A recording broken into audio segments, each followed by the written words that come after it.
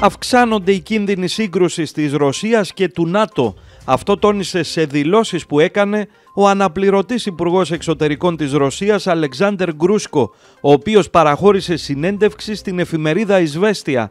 Συγκεκριμένα είπε μεταξύ άλλων και τα εξής. Οι κίνδυνοι δυστυχώς αυξάνονται. Όλοι το καταλαβαίνουν αυτό. Ένα χαρακτηριστικό παράδειγμα είναι η περιοχή της Βαλτικής, η οποία με τις κοινές προσπάθειες του ΝΑΤΟ έχει μετατραπεί από μια ήρεμη περιοχή σε μια ζώνη στρατιωτικού ανταγωνισμού. Η Ρωσία προσπάθησε με κάθε δυνατό τρόπο να ομαλοποιήσει την κατάσταση, αλλά καμία από τις προτάσεις δεν εξετάστηκε από την Βόρειο-Ατλαντική Συμμαχία.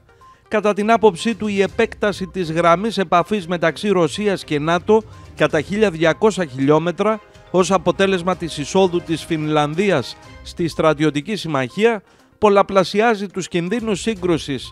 Όπως σημείωσε νωρίτερα και ο εκπρόσωπος του Κρεμλίνου, Δημήτρη Πεσκόφ, η επέκταση του ΝΑΤΟ αναγκάζει τη Μόσχα να λάβει αντίμετρα για να εξασφαλίσει τη δική της ασφάλεια τόσο τακτική όσο και στρατηγική. Η Ρωσία θα παρακολουθεί στενά τι συμβαίνει στη Φινλανδία μετά την ένταξή της στο στρατιωτικό μπλοκ και με βάση αυτό θα λάβει τα απαραίτητα μέτρα.